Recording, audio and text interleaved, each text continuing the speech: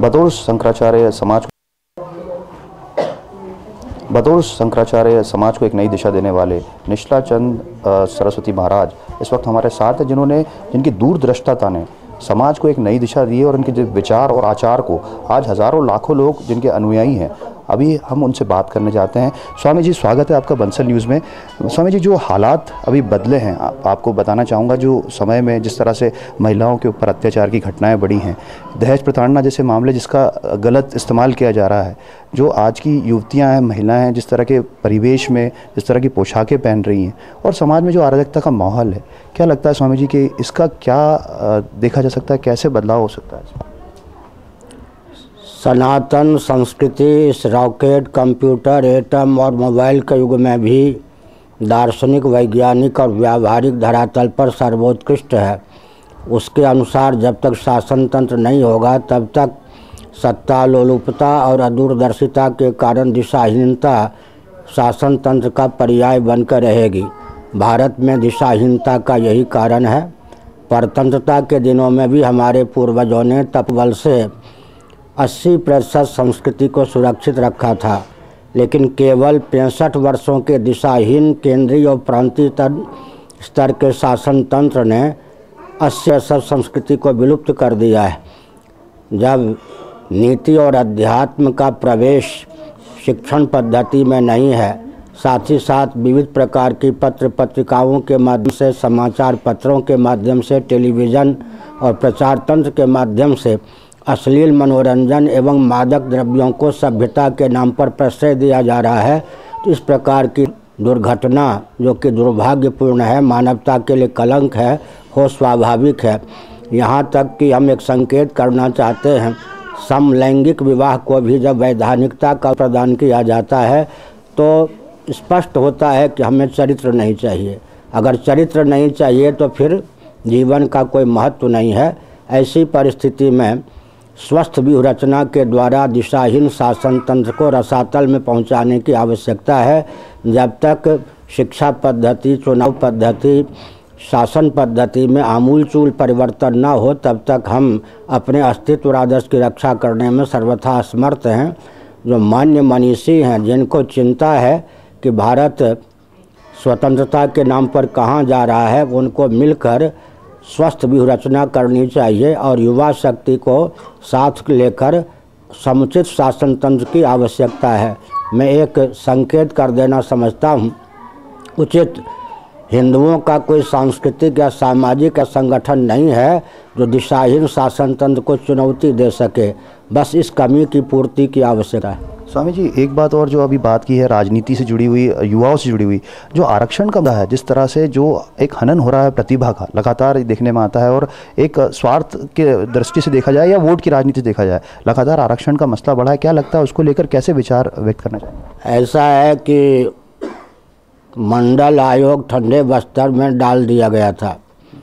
BP Singh ji ने जीवन भर प्रधानमंत्री बन, बनने, बनकर रहने के व्यामोह में उसको क्रियान्वित किया। उसी समय मैंने आरक्षण को लेकर जो भाव व्यक्त किया था, वह आज तक मेरे हृदय में सुरक्षित है। हमने कहा था कि आरक्षण का जो रूप है वर्तमान में, उसके अनुसार जो आरक्षण में अधिकृत हैं या अनधिकृत हैं, दोनों की प्रतिभा की हानि हो रही है, साथ ही साथ राष्ट्र की प्रगति की हानि हो रही है, साथ ही साथ वर्तमान जो आरक्षण प्रक्रिया है, वो प्रायोगिक नहीं है।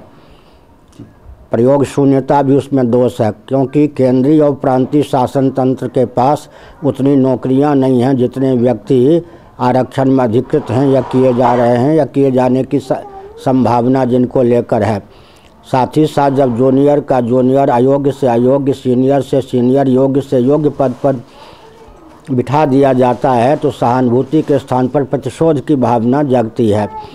तो वर्तमान आरक्षण पद्धति प्रतिभा के विरुद्ध है, प्रगति के लिए अवरोधक है, प्रतिशोध की भावना इसमें आवश्यक है, अनिवार्य है, जो कि हम देख रहे हैं। साथ ही साथ प्रायोगिक नहीं है। और ये चारों दोष जब किसी देश में चौदह वर्षों तक पनप जाते हैं तो पांचवा दोष परतंत्रता देश का विखंडन भी स्वाभाविक है जो कि हो रहा है। सनातन संस्कृति में सबको जन्म से ही जीविका सुरक्षित थी। तो सबकी जीविका सुरक्षित होनी चाहिए, सबको आरक्षण मिलना चाहिए मानवाधिकार की सीमा में संकेत कर रहा हूँ।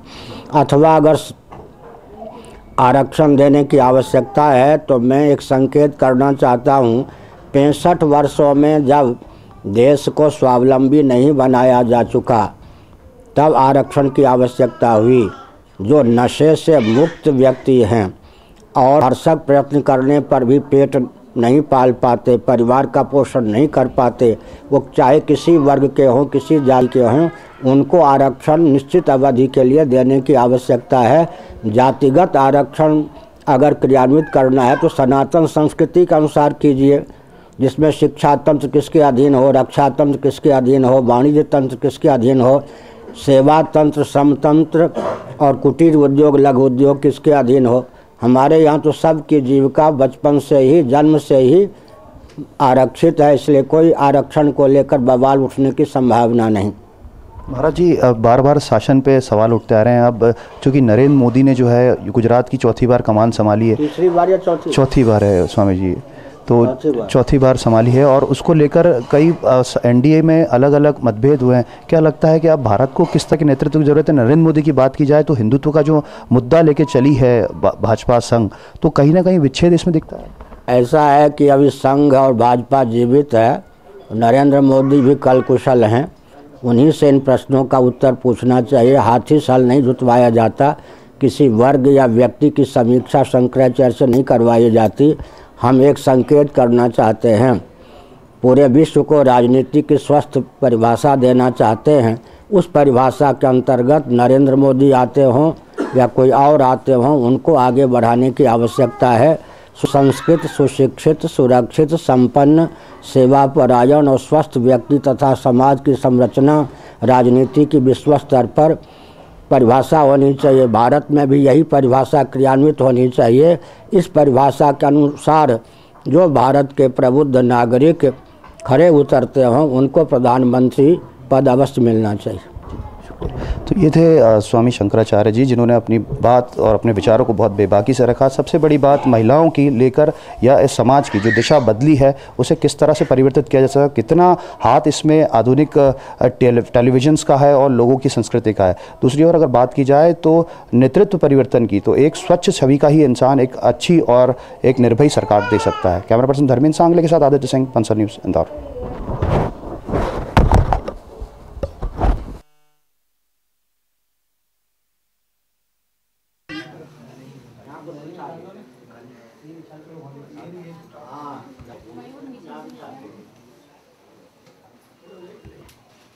के विषय में आजकल कई लोग जानते हैं। जैसे मैं ब्राह्मण हूँ, मैं जानता हूँ कि मुझे संध्योपासना करना है। उसके कारण मैं मैं अपने मतलब व्यक्तिगत तौर पर प्रश्न कर रहा हूँ कि इन सब वो ठीक से नहीं कर पाते तो इसके लिए हम हमारे अंदर किस तरह के भाव उत्पन्न करें?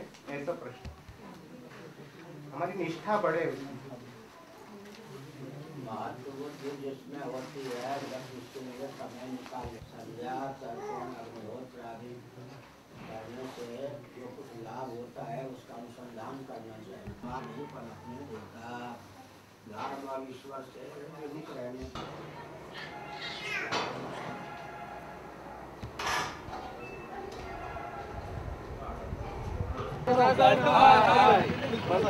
बंद करो